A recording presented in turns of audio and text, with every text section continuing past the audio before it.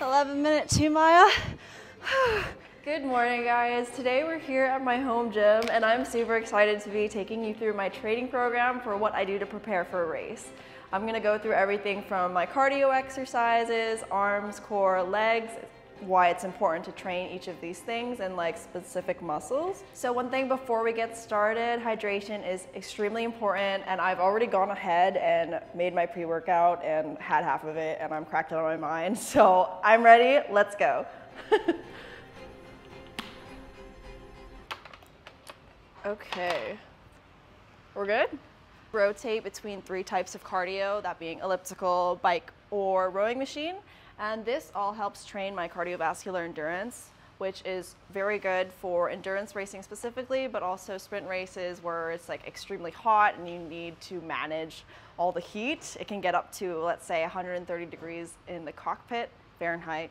I know I'm a Celsius girl, but that's what we measure it in. Um, so this is like very, very important to help you stay focused during the course of your race, whether that be from an hour all the way up to two hours and multiple stints. And what I typically do is probably 30 minutes or a 5K run. Um, on the bike, it's about eight miles, and on the rowing machine, I'll go for maybe like 15, 20 minutes. But rowing machine is my least favorite thing to do. Um, it's super, super high intensity, but it definitely works out like everything from arms all the way down to your legs. So it's a really good workout. So the reason why I do elliptical instead of treadmill is because I had shin splints earlier in my career and it was actually impacting the way that I braked in the car. So I decided to switch to like a low impact cardio schedule.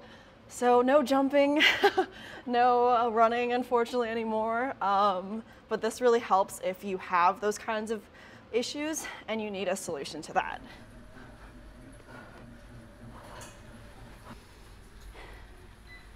Okay, we're done. We're done cardio. catching my breath. Forgot to mention, working on cardio really helps you train your breathing. So when you're feeling like overwhelmed or feeling like you're literally wheezing and you're dying, you're gonna learn a better way to breathe, or you gotta learn a better way to breathe. And the way that I calm myself down during races is during the straights. I'll remember to like take a deep breath in, kind of stomach breathing, like loosen my hands, and that's how I get back into the zone. Okay, Next, we're gonna grab these five pound weights. This is to train more specifically the muscles here. Um, it's kind of hard to train it if you're not driving.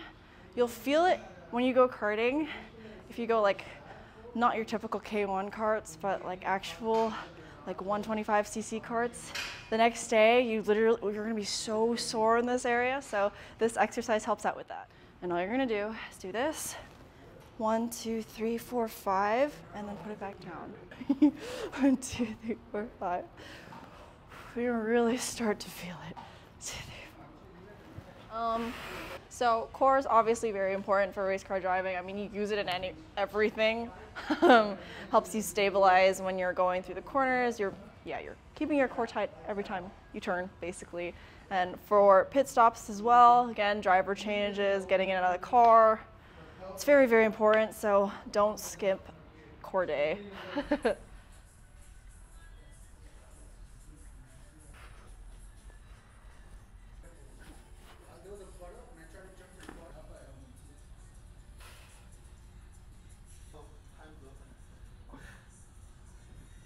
Back to biceps.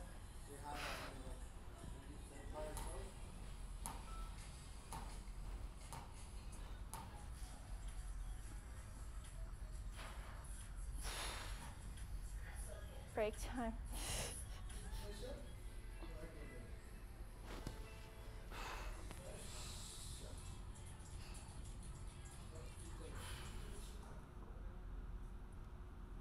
I'm incredibly inflexible, but something that did help me with my shin splints is doing like calf stretches.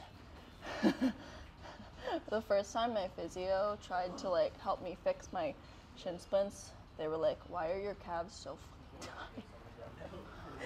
Rule of thumb: oh you need to stretch for at least 30 seconds per stretch. Okay. Oh, perfect time during stretch time. Hello, hello. So I think it's called European Ladies GT Championship in 24 hour series. Last year we only, so we did, we were the first team to win with the um, M4 GT3 in the world at the 12 hour Mugello. I think they have that point. They also have first woman to pole and win in Ferrari Challenge North America Pirelli class. They have that. Yeah, that was 22.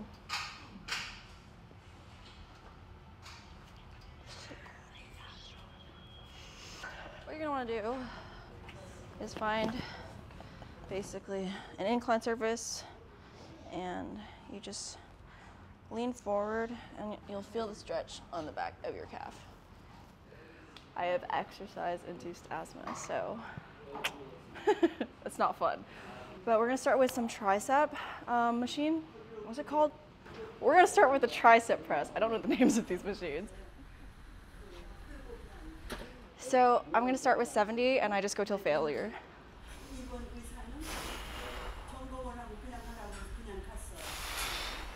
Can I do one more? I think I'm gonna do one more.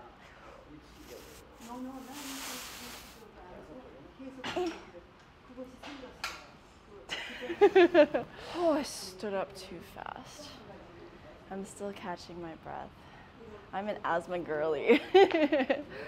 this machine basically works out all of these muscle groups, so it just serves a plethora of good uses for race car driving, such as pit stops for when you're doing a driver change and you literally have to hold onto the roll cage and hoist yourself in there as fast as possible. Um, helps being tiny, but um, this is super, super good. And again, keep your core tight. And again until failure.